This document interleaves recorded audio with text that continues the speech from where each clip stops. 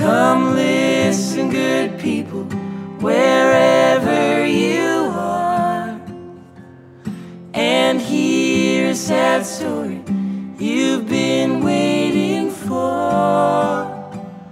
About the flood of 57 as it happened to me? In Kentucky, or Virginia, and East Tennessee.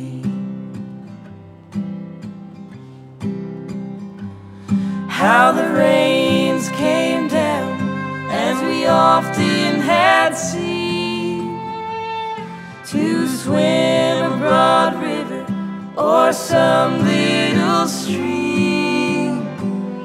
But this was different, and we soon realized that the floods were raging, and we fought for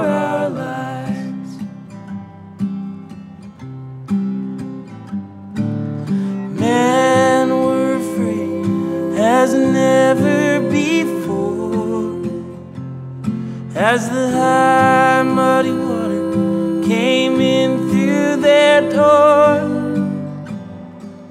Some were left homeless, their life savings gone. But their lives had been spared, and the cold rain came